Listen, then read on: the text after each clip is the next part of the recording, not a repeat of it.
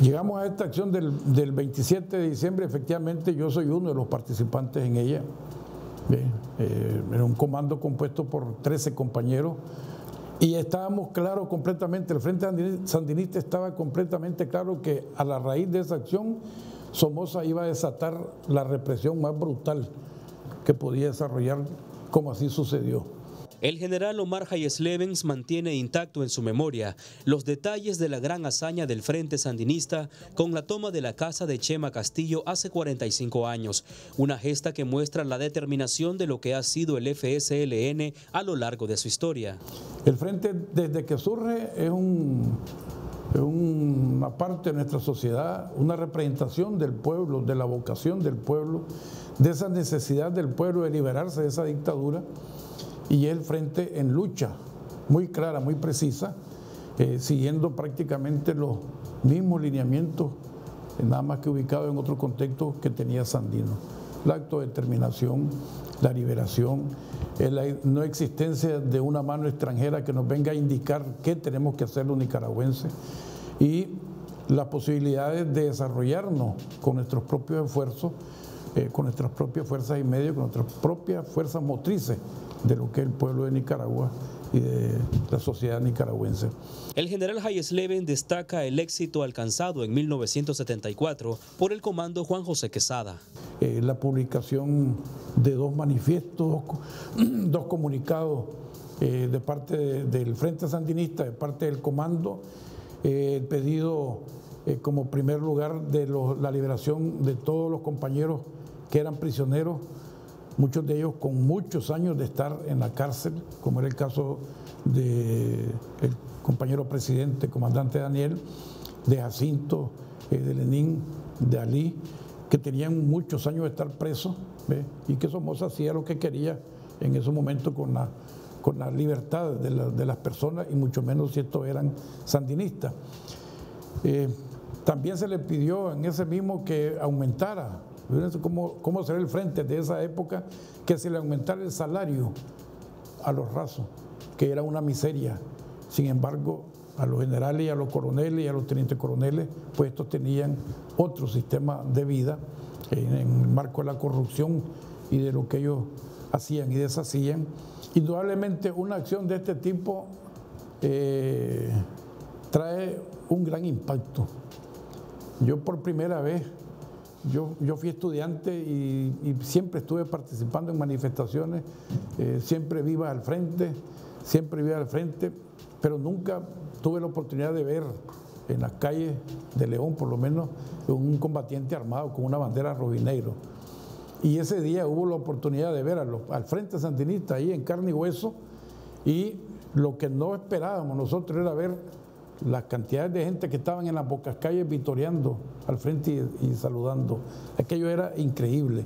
El general destaca la historia de lucha del FSLN, representando los intereses del pueblo por su libertad, soberanía, dignidad y autodeterminación.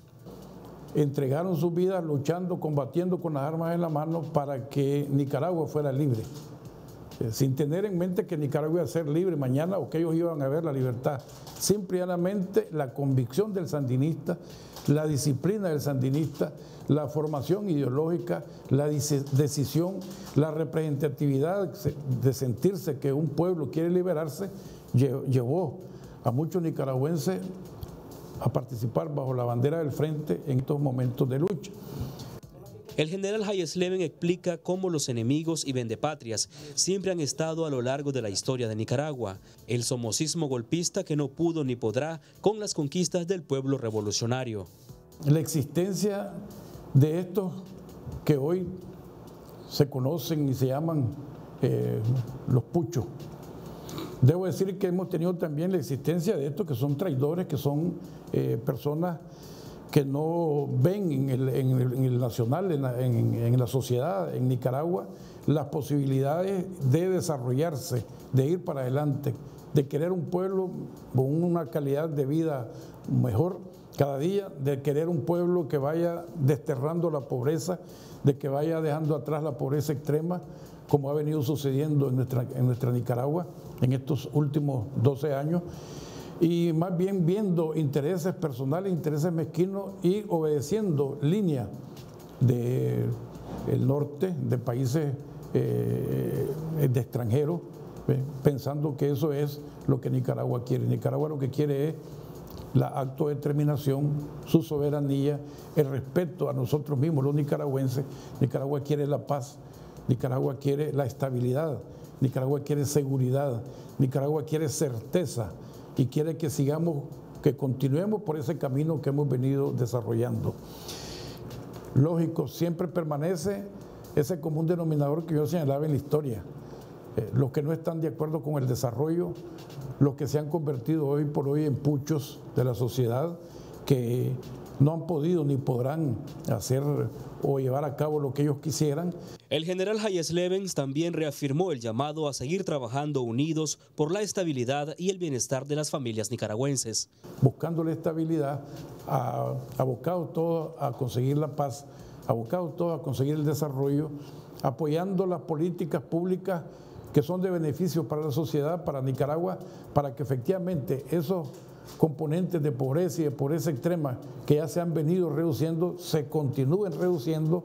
y que todos los nicaragüenses vayamos en la ruta de levantar el nivel de vida de la sociedad nicaragüense, que es la única forma de salir adelante, de lograr el desarrollo. En la medida en que todos vayamos juntos, todos nos apoyemos y que todos aquí en Nicaragua no esperemos que alguien nos venga a decir, ve, ahí está la solución. No, la solución la tenemos nosotros los nicaragüenses. Juan Cortés, Multinoticias.